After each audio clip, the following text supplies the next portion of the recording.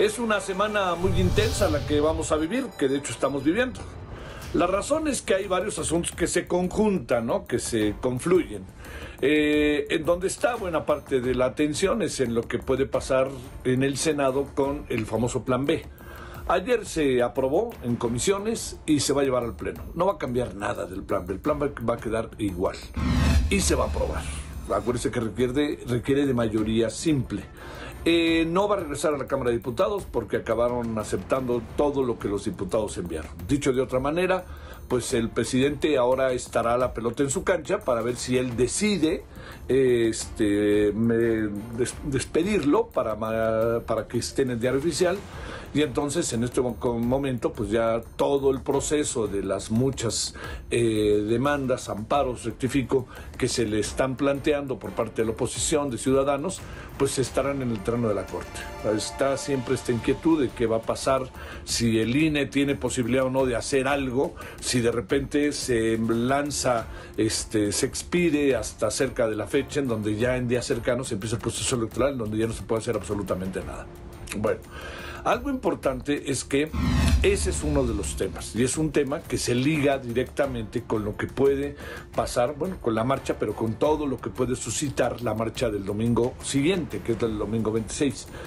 El presidente ha sido particularmente crítico con la marcha y lo es, fíjese que por muchos motivos. Quizás uno de esos motivos que es importante es que ese para él él considera que la calle es un espacio de él un espacio natural de él, de sus militantes, de su movimiento. Entonces, aquí hay lo primero, ¿no? Que hay un movimiento, un movimiento que sí es numéricamente importante, como se vio el 13 de noviembre, que ahora habrá que ver qué es lo que sucede con él, ¿no? Eh, digamos, aquí tendríamos que ver cuál es el objetivo objetivo ahora de la marcha, porque va quedando claro que si en un primer momento era el Instituto Nacional Electoral no se toca, cuestión que siempre lo hemos dicho aquí, claro que se toca, la clave es cómo se toca, ¿no? Por supuesto, pero el gran asunto es qué es lo que ahora convoca esta marcha. Y esta marcha anda convocando en buena medida ya una abierta oposición al presidente organizada, manifestada en las calles. ¿Por qué razón? Porque es evidente que el presidente sabe que esa marcha es la calle, que presume que es de él y de su movimiento, pero también que ya se organiza en torno a esta marcha una eh, pues una organización, ¿no? Se va organizando grupos de la sociedad que claramente establecen su oposición al presidente y a su movimiento y a todo lo que lo rodea. Entonces el presidente estos días ha estado auténticamente, pero no, no deja momento libre para no hacer una crítica a tal grado que dice, vengan aquí al Palacio Nacional, los que vienen son los que quieren la corrupción. Y yo creo que ese es un maniqueísmo que no nos lleva a ningún lado, en verdad que no nos lleva a ningún lado. ¿Por qué? Porque sería dudar de las posiciones genuinas de muchos ciudadanos que los mueve un interés personal, los mueve una serie de circunstancias en favor de un cambio diferente en el país, no necesariamente el que enarbola el presidente. Y esto no los hace menos, esto los hace simplemente que tienen una perspectiva de vida de todo esto diferente y eso el presidente no lo respeta, al contrario, el presidente lo impugna. Y quizás lo impugna porque también sabe que algunas cosas pueden ser desiguales cuando venga el proceso electoral del 2024.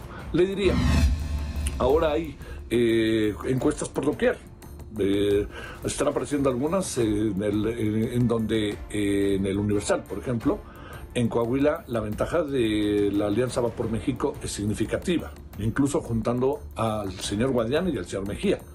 Ojo con eso. Segundo, eh, la popularidad de la señora Claudia Sheinbaum en la Ciudad de México, otra encuesta, el financiero, coloca 51% desfavorable, 49% favorable. O sea, las cosas se mueven, se mueven sistemáticamente en el imaginario colectivo, en nosotros los ciudadanos. Pero desacreditar una marcha y pensar que vengan acá al Zócalo porque acá los que quieran la corrupción son los que van a venir, es perder de vista que hay diferencias de opiniones en la sociedad, que hay cosas que se ven de una manera, de otra manera y de otra manera. Una semana, ya le digo, muy intensa. Veremos en qué acaba, por lo pronto, en el Pleno del Senado, las cosas. Y segundo, veremos qué pasa el próximo domingo en la marcha, que tiene que tener muy claro su objetivo. Hoy por hoy alcanza a verse más como una marcha voluntarista en contra de que con un objetivo concreto. Pero bueno, luego así empiezan las cosas. ¿eh?